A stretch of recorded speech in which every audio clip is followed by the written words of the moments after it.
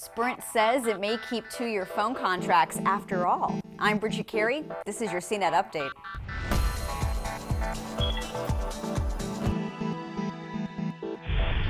The classic two-year phone contract may not be dead just yet, but it is on life support. Sprint is now clarifying that, contrary to previous reports, it has not made any official decision to stop offering two-year contracts to customers by the end of the year.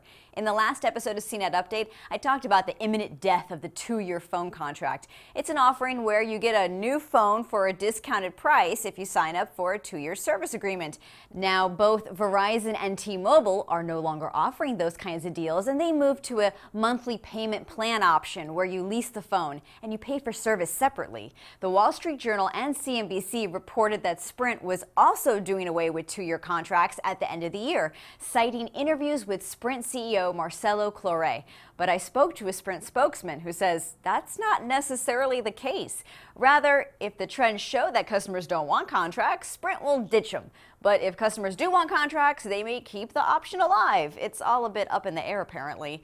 But Sprint salespeople are pushing customers to go with their monthly leasing option, and so are AT&T employees. But both Sprint and AT&T, they still offer the option of a classic contract if you still want it. Switching gears, Google unveiled a new product that it began selling this week, but it's not a phone or a tablet or anything you wear. It's a Wi-Fi router. Now, Wi-Fi routers aren't exactly a sexy tech product category. They are a headache to set up, and you usually try to hide the ugly box somewhere behind the furniture, which you shouldn't do because that weakens the signal.